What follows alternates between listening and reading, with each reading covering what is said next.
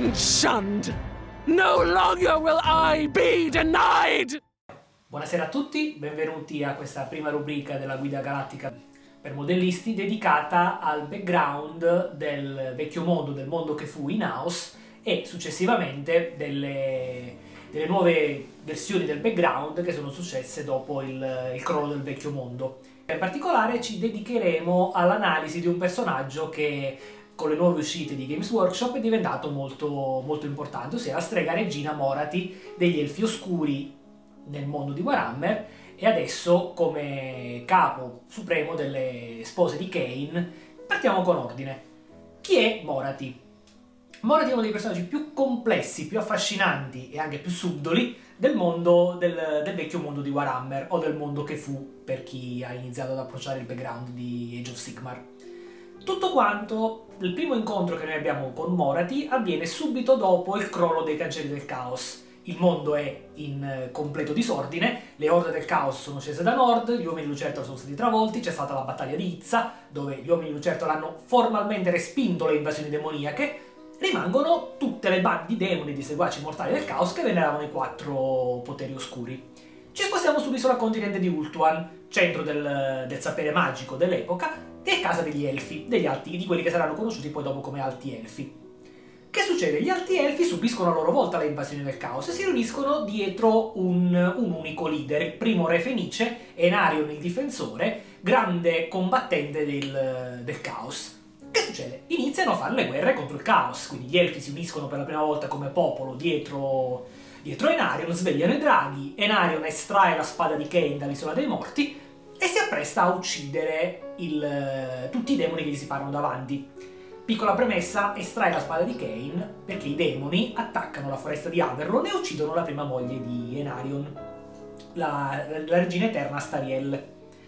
Cosa succede? Enarion, con i suoi elfi, con i più guerrafondai degli elfi, inizia a fare tutta una serie di campagne militari per scacciare i demoni dall'isola di Ultuan.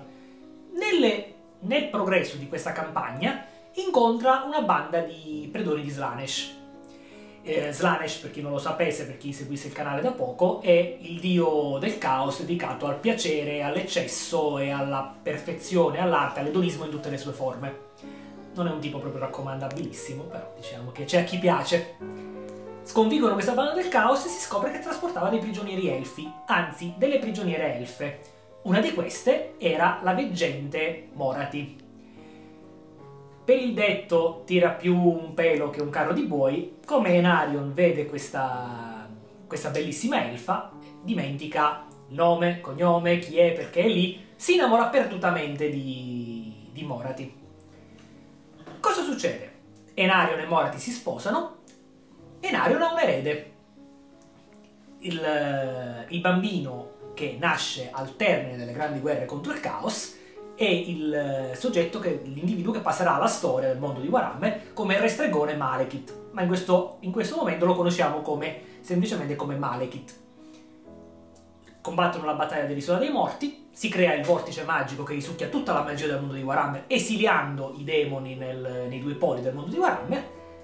Enarion muore, o meglio scompare, non verrà mai più ritrovato, verrà ritrovata successivamente l'armatura, e gli elfi conoscono una relativa pace della guerra, scomparso il re Fenice, che succede? Facciamo il secondo re Fenice.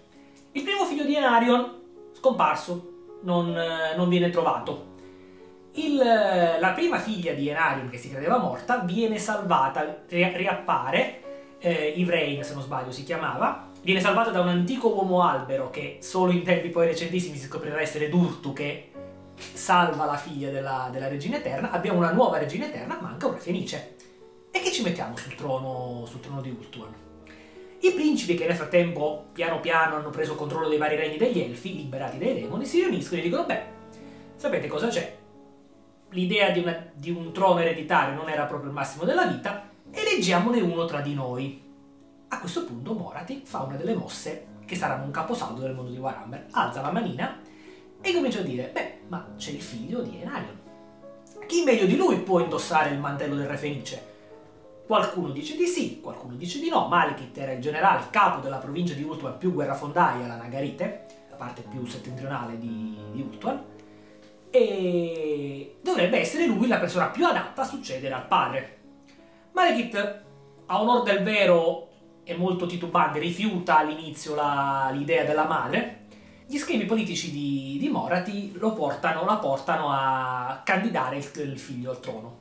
I principi si oppongono, succede un mezzo casino, ne eleggono un altro, Malekith diventa generale delle armate di, di Ultuan, viaggia in giro per il vecchio mondo.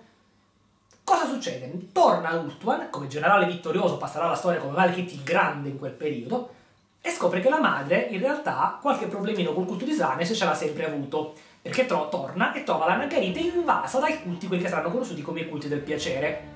Malekith è una persona integere, ma arriva, scopre tutti questi serie di culti, scopre che a capo c'è la madre, arriva e imprigiona formalmente la madre. Se non che scopre che alla fine il re Fenice che hanno detto in sua, in sua assenza, eh, il re Fenice Belshazzar, era a sua volta un, eh, un seguace del caos, vero o presunto, Malekith lo avvelena, lo uccide su consiglio della madre. Torna, entra nel tempio di Asurian, passa attraverso le fiamme di Asurian, rimane irrimediabilmente ustionato e la madre, che era lì presente, prende il figlio, lo riporta a Nagarite e non sappiamo con quali artefatti, con quale magie, con quali magie oscure, riesce a salvare la vita del figlio, fondendolo con la sua armatura.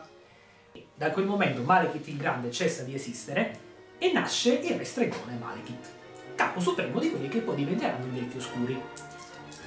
Ve la faccio breve, questo potrebbe essere un altro intervento. La, la scissione, quindi la guerra intestina tra alti elfi, leali ai troni gemelli di Ultuan, ed elfi oscuri, leali al re stregone Malekith e alla, alla sua madre Morati, va avanti per, un, per molto tempo, devasta il territorio, fino a quando gli elfi oscuri sono costretti a ritirarsi sulle sponde di Naggaroth, che, volendo fare un paragone col mondo attuale, corrisponde circa al Nord America del, del nostro mondo. Sono costretti all'esilio, Malkith e Morati fuggono insieme ai loro seguaci, fondano una serie di città, Morati ehm, prende per sé la città più a nord, Clarkaron, dove fonda i conventi delle incantatrici, domina la magia oscura, fa patti con entità demoniache, corrompe e, mh, diciamo, piega ai propri fini quella che era la nobile, magia degli elfi, combinandola con elementi della magia di Slanesh.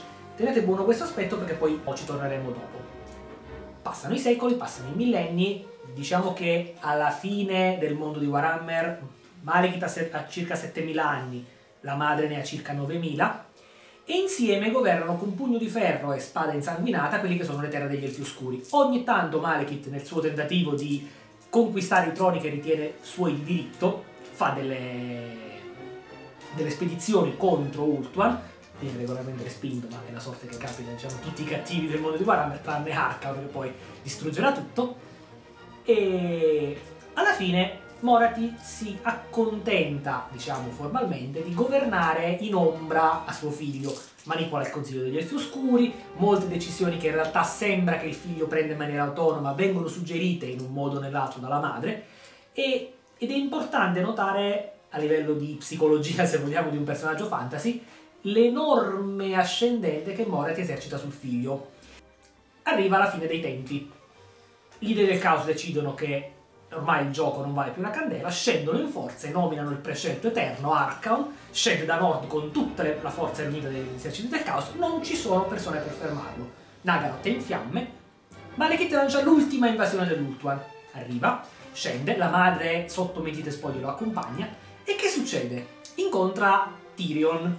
Tyrion, per chi non lo sapesse, è il leader militare, se non politico, degli Alti Elfi. Indossa l'armatura di Enarion, armatura che è tipo un'armatura greca, quindi non lascia vedere tanto il volto. Morati rivede quell'armatura, si ricorda di tanto tempo fa che il, il suo amato, perché una cosa importante da dire benché Enarion amasse alla follia Morati, Morati ha amato alla follia Enarion e tradisce suo figlio, tradisce le, le ambizioni del figlio per seguire Tyrion. Tyrion che ha, come erede di Enarion estrae a sua volta la spada dall'isola dei morti, impazzisce e quindi rivi- si rivive un attimino quello che è il- la fine del- degli arti elfi ai tempi dell'invasione del caos. Cosa succede? L'ultimo atto di questa, di questa campagna avviene sull'isola dei morti, lì dove era tutto era cominciato. Il vortice che venne creato da Caledor il Domadraghi, compagno di Enarion, un altro personaggio su cui si potrebbe raccontare tanto, viene sciolto. Morati si oppone a questo con tutte le sue forze e l'ultima volta che viene vista nel mondo di Warhammer è all'interno, nell'occhio del ciclone di questo enorme vortice di magia, dove finalmente, dopo millenni, ha il primo incontro con il principe oscuro Slanesh. E l'ultima volta che si vede è all'interno di, di questa esplosione di magia, dove finalmente capisce il vero significato del, dell'assonanza che di Slanesh si fa di dolore e piacere. Infatti viene presa, trasformata e molti di noi pensavano eliminata in modo definitivo dal principe oscuro.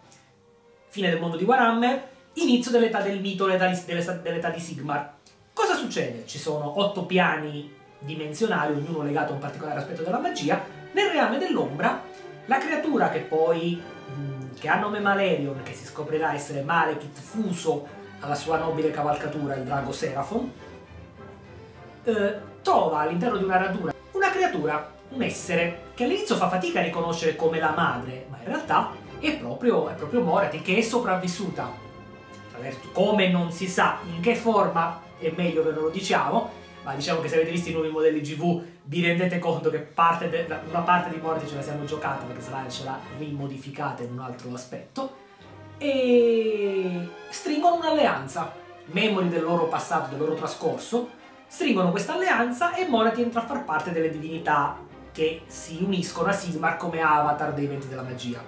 Voi pensate che la cosa sia finita qui, Monaty ovviamente se avete capito il personaggio è un'infida di prima categoria, alla prima occasione possibile tradisce tutti gli altri e crea una propria fazione, quella che sono le, le figlie di Kane. Per quanto riguarda la trasposizione di Morath in questo momento è tutto, cioè, resta da vedere come il background si evolverà con i prossimi libri di espansione, con la nuova campagna del Mal Importance, di cui parleremo nelle prossime puntate. Grazie per l'attenzione